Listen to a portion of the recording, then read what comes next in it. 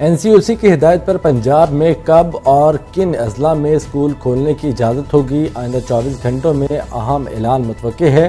सूबाई वज़ीर तालीम डॉक्टर मुराद रास ने ट्वीट में आगाह कर दिया है। मजीद जानते हैं आतिफ परवेज से। आतिफ, बताइएगा, स्कूलों की और यूनिवर्सिटियों की क्या सूरत हाल होगी खुलने के हवाले से? बिल्कुल, गुजशत जो एन सी ओ सी की जानब से फैसले किए गए थे और उनका ऐलान किया गया था, जिनमें तालीमी इदारों के हवाले से भी बताया गया था कि जिन अजला में पाँच फ़ीसद से कम या पाँच फ़ीसद तक कोरोना के पॉजिटिव केसेज हैं, वहाँ पर तालीमी इदारे खोलने की इजाज़त होगी और चौबीस मई से जो है, ये तालीमी इदारे खोलने की इजाज़त की तो इस हवाले से अब तालीम स्कूल मुराद राज की जानब से ट्वीट किया गया उनका कहना है कि चौबीस घंटों के अंदर अंदर जो है, ये बता दिया जाएगा कि पंजाब में कौन से ज़िले में कितने स्कूल खुलेंगे और कौन सी क्लासेस को बुलाने की इजाज़त होगी। तो इस हवाले से अब महकमा स्कूल एजुकेशन ने एनसीओसी की हिदायत की रोशनी में मुशावरा शुरू कर दी है और जल्द ही जो है इस हवाले से नोटिफिकेशन भी जारी कर दिया जाएगा। जी। शुक्रिया आतिफ।